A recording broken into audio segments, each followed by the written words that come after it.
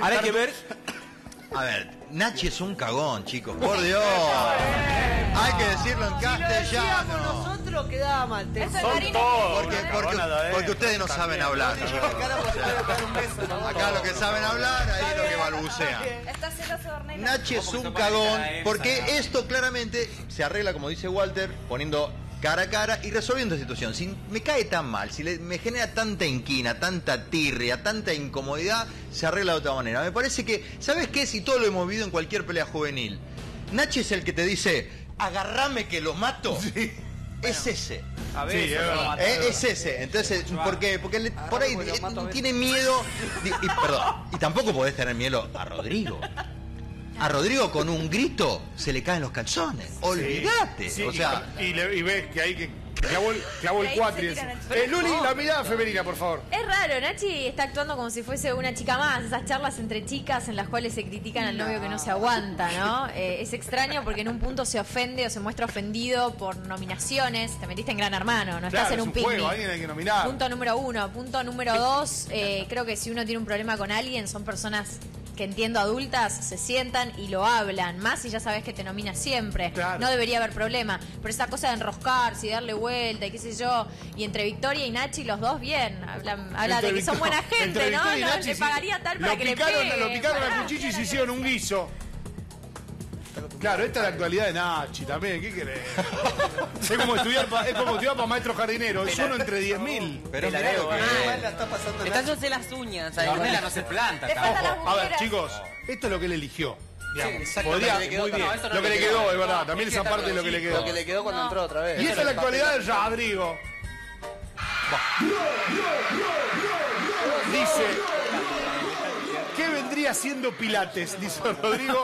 Y va leyendo, si no utiliza bien esa cama se puede lesionar severamente. ¿eh?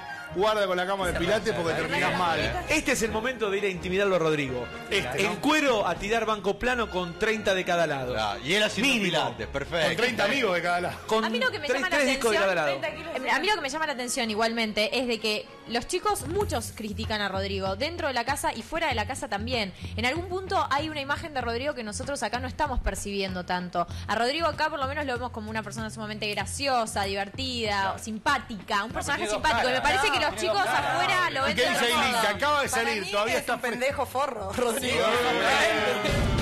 No entendí. Creo que Señores, quiso decir... Busquen los subtítulos en internet. Sí, ¿eh? Digo, el- pero sí. Pero vos notás esta cosa, son dos. Rodrigo, Hace todo por la cámara, te habla y mira la cámara como diciendo acá estoy expresando esto. Pero después de tantos meses vos La decís que se puede la mantener foto como de esa este dualidad. La, acabo de sacar yo. Sí, perdón, Luli, vamos. No, digo que si después de tantos meses ustedes creen que se puede mantener como esta contradicción de él de estar todo el tiempo chequeando la cámara y demás, o sea, ¿puede sostener el personaje durante tantos meses? no le gusta una pregunta. caiga. Chicos, Dolo tiene una pregunta. Ahora. A ver, espere, Luca, Silencio. ¿Qué edad tiene Rodrigo? ¿No es el más chico de los varones? 19. Bueno, es el más chico. Chicos, Dejen chicos, hablar, Raquel esto es un gallinero, viejo. Tomá, Noelia, le voy a sacar la tarjeta amarilla. Pero Raquel Mancini dijo cualquier pavada, entonces cosa. Pero vos decís cualquier pavada todo el tiempo y tenés como 40 años. Ahora, chicos, vamos. Dolo, ¿Qué? Repita su concepto, Para mí, fuerte y tipo, claro. tiene la edad y actúa como un niño de su edad, como cuando dicen que Victoria es esto y lo otro. Actúan de su edad, déjenlos vivir. Va a pasar unos años, van a crecer tranquilos. ¿Está bien? Sí, perfecto, se entendió mí- fuerte y claro. A ver, Leandro. Ojo, para mí el tema con Rodrigo es que lo ven como un nene, pero si, digamos, si él se ganó el lugar de estar adentro de Gran Hermano, seguramente se lo merece y me parece que es más inteligente que lo, lo que la mayoría de la casa cree. Se lo subestima mucho y él ha demostrado que se las arregla para seguir ahí adentro, para no ser blanco de los votos, así que tan mal no debe estar haciendo las cosas. Bueno, Acordate de eso cuando hables mal de Vicky. ¿eh? A ver, Juan Manuel, vamos. Juan Digo que se acuerde de eso cuando habla mal de Vicky, es lo mismo. Todos se ganaron un lugar para estar allá adentro. Infumables o no fumables. Y se puso para la que te acuerdes del concepto. Manuel. Sí, me puse la camiseta. Segundo, espero que los chicos. Espere, espere. Espero Vamos que a los chicos cuando hablan en voz baja tengan la valentía para decirle a Nachi gay y todas las cosas que, dicen cuando esté acá. Claro, que se en la cara. Porque Y- ¿sabes que o Nacho decirle cagón. hermano- Nacho Dale, tiene un hermano pero que ustedes se destacan por ser muy valientes detrás de una cámara, hacer una tuerca. Vos hablás de Pero después no se valentía, vos hablás de valentía, que mucha valentía. Más valentía que ustedes, sí. Vos hablás de valentía. Vos de valentía detrás de una camerita de cosas y después te veo como un pollito mojado por ahí por los pasillos. Juan Manuel, hiciste un igual, igual, hiciste papel chicos. patético adentro y afuera. No, vos no. Nada. Tengo una pregunta para hacerle a todo el público. Eh, estamos, nosotros estamos ahí con el debate y acá hay otro programa al costado.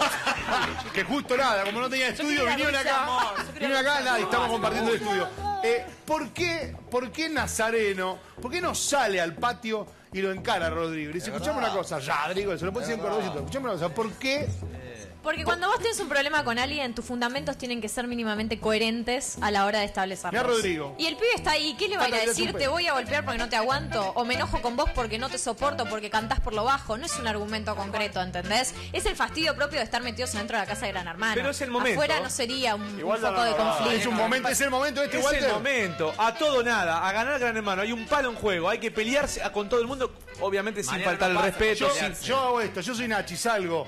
Llego a la camita de pilates, agarro una punta de la soga, agarro otra punta de la soga y aprieto. Y lo dejo dobladito como un triple de miga del cumpleaños de 15. Le digo, ¿qué pasa con vos, papi? Y ahí está, se acabó todo. Igual ya han hablado de eso, de que no se llevan. No se llevan bien, no se toleran, pero Para han hablado. ¿eh? pelearse. Les quiero mostrar algo hablando de Nachi y hablando de Ornella.